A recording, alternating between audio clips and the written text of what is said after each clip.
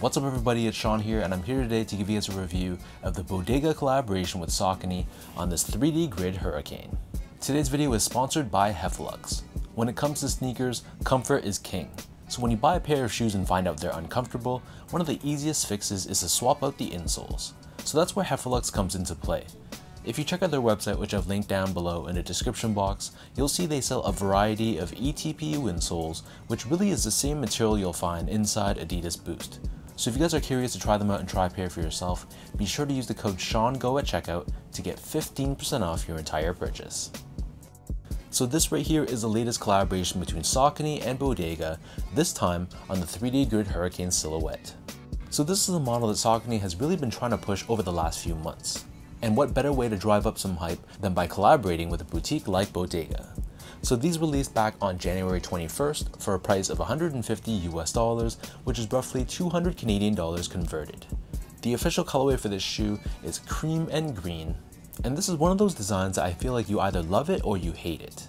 To be fair, Saucony at this present moment isn't at the top of most people's lists, and even for people who are fans of Saucony, this 3D Grid Hurricane doesn't nearly have that same level of respect as for example a Shadow 5000 or 6000.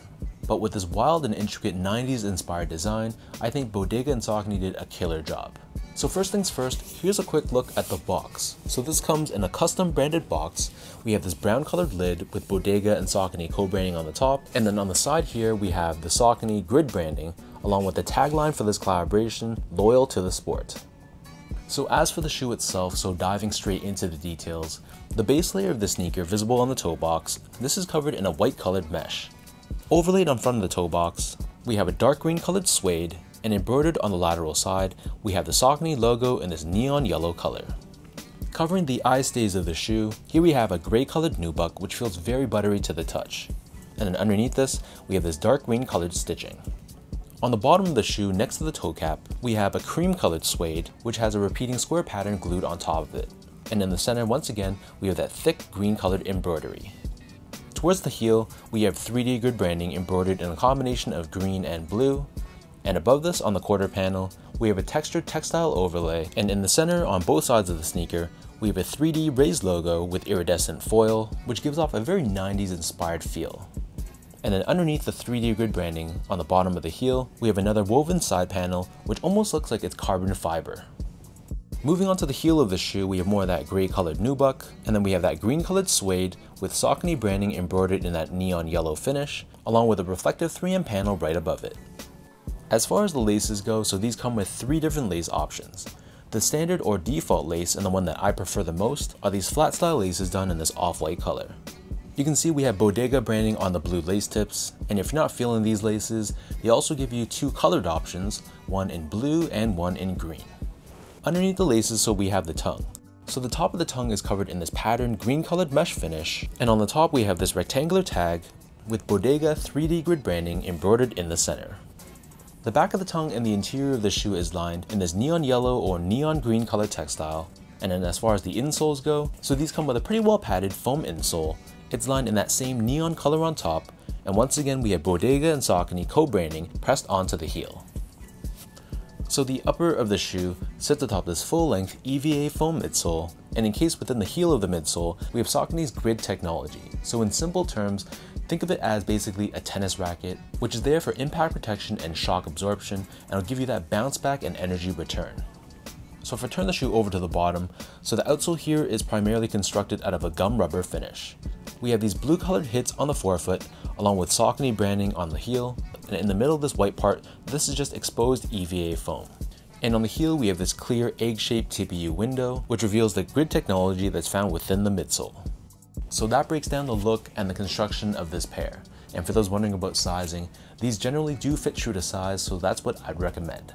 So my feet measures as a true size 10, slightly on the wider side, so that means when I step on a Brannock device, my feet are actually a size 10. So I picked these up in a size 10 and they fit me absolutely perfectly.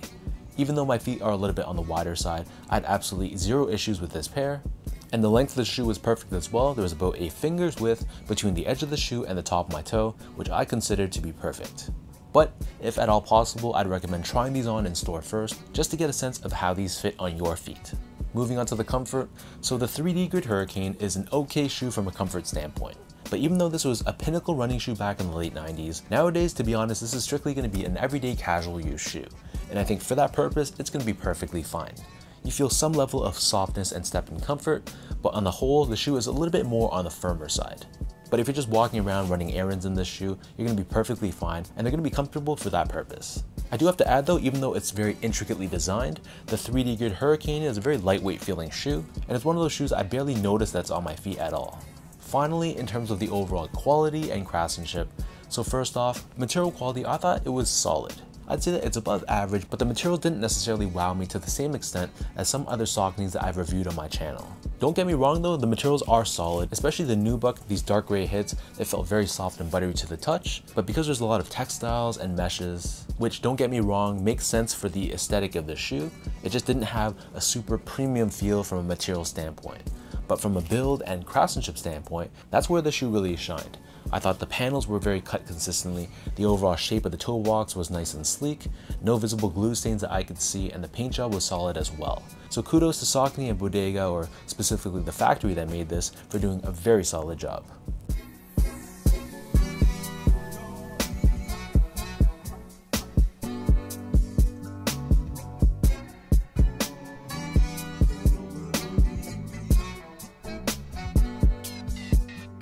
So with all that out of the way now, let's toss these on feet, I'll lace them up and I'll show you guys how these look.